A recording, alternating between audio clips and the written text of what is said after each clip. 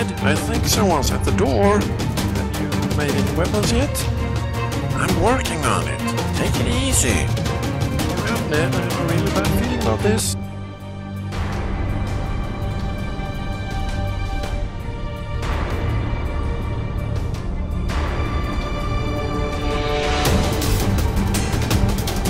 Watch out! Ah! You okay, Ned?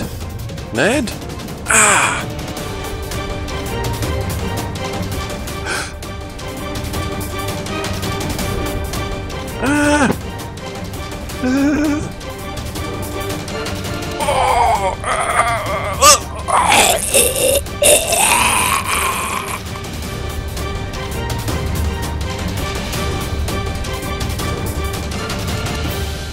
Are you alright, Sven? Get this thing off me! I can't breathe! What happened? Where's the monster? Destroyed by my new weapon. Wow! Awesome! Can you make more? Yes, of course. Yay!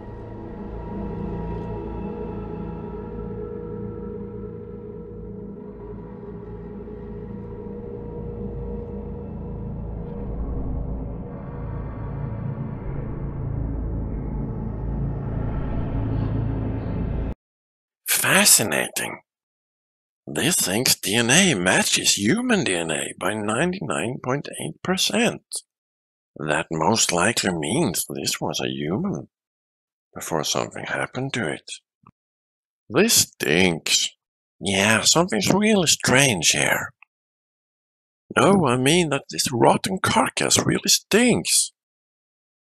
It sure does. Why did it try to kill us? I don't have the answers, but I know where we can find them. You mean?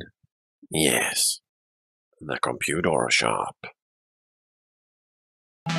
I'm done with our weapons and shields. Only the suits remain, but I need some more materials for that. I think I saw something useful in the hospital. That means we could also check how the doctor's doing. I have a few things I wish to ask him about this lab. Oh no! Wait a second, he's a robot. But how is this possible? Who built him?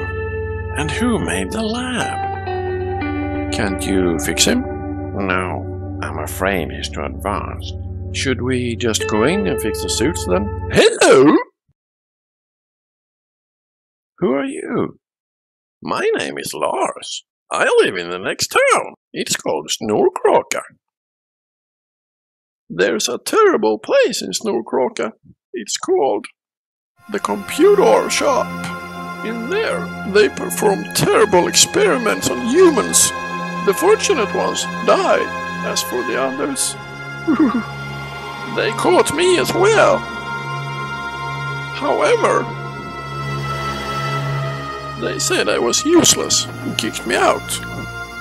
They took all of my friends and relatives.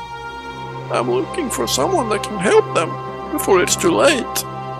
Why are they doing this?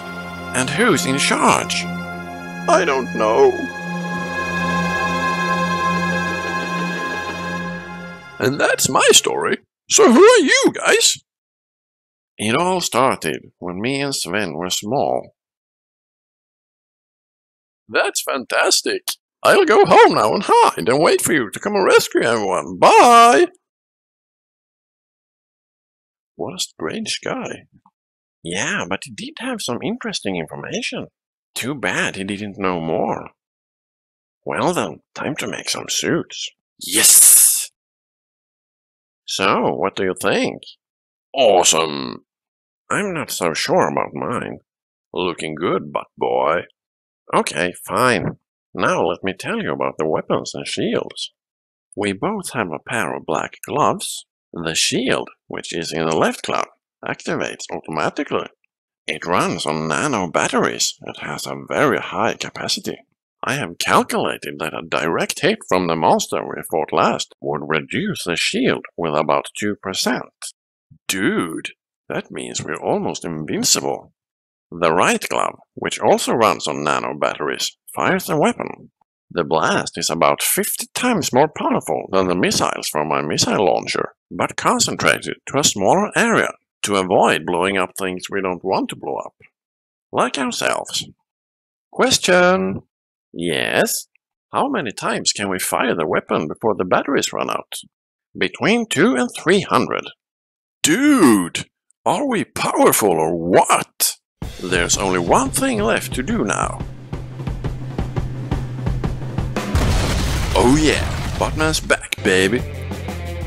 Why did you blow up the hospital door? Let's go, Buttboy. Our final battle awaits.